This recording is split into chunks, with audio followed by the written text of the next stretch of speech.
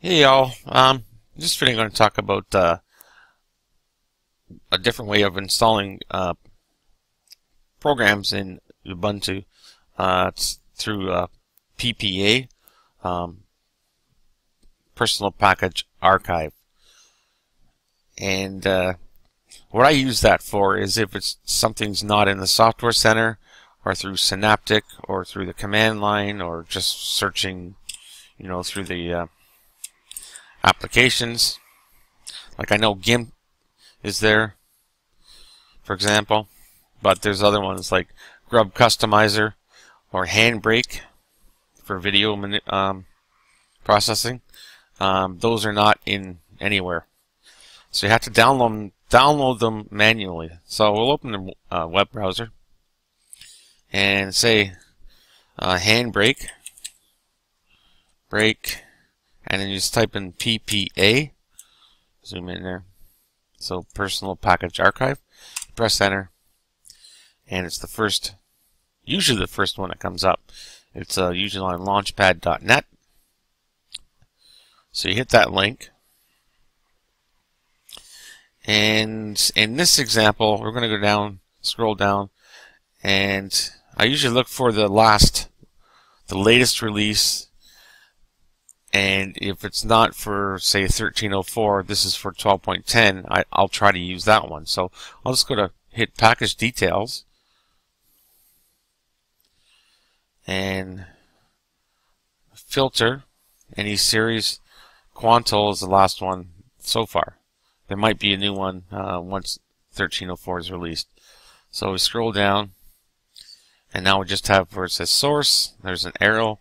Click that, you can see it has builds of AMD 64 and 32-bit. And there's two packages available. Uh, Handbrake CLI, that's command line, and Handbrake GTK, GNOME Toolkit, that's the graphical interface. So if you want um, the command line version, you can get the AMD if you're using 64-bit, Intel as well, by the way, and 32-bit. Uh, or 32-bit. So I'm, i use the 64-bit uh, GTK version. So that's the one I I get. So I download that. So we'll just download it and hit OK. Go to our downloads folder and oops. I already have it downloaded, so Anyway, you would double click on that and then Software Center would open. Yeah. Sorry, my mistake on the download there. So I'll close this. And another one I like to use, as I mentioned, is uh, Grub Customizer. Same idea. Grub Custom Customizer PPA or Ubuntu PPA, whatever. Uh, again, it's the first result here. And this one gives you uh, how to, you can add this uh, repository to your Ubuntu installation. And he has a whole bunch. Uh, so again, package details. And we'll filter any series, and there's the latest release, upcoming release right there. Filter. Scroll down again, hit the arrow,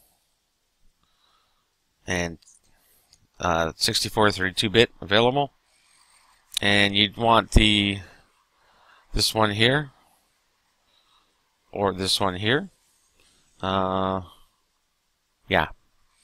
So you could download that. And here it is here. So I again I already have that installed, so I'll just double click and see it'll I'll show you what happens. It opens Ubuntu Software Center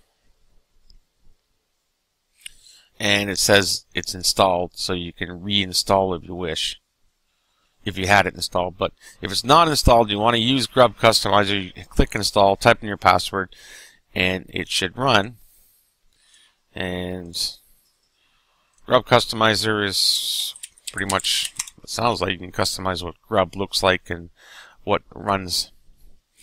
So I've opted to delete uh, the Windows loader because this it, it, uh, the grub is not on uh, the hard drive that I'm using it.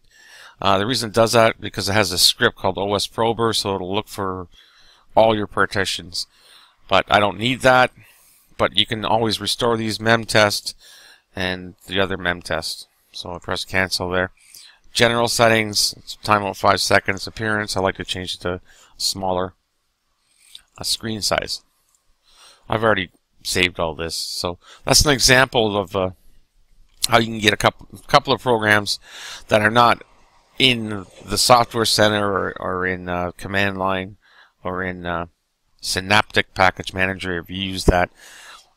Now it's not going to work for all uh, Linux-based programs because sometimes there's too many dependencies and uh, they're not even remotely uh, officially supported. But there's a chance that you're going to find something. So if, if you think of something that you want and you know that Ubuntu supports it, you can try searching the personal package archive. Okay? So that's it for this one. And uh, thanks so much for watching. And we'll talk to you soon. Bye for now.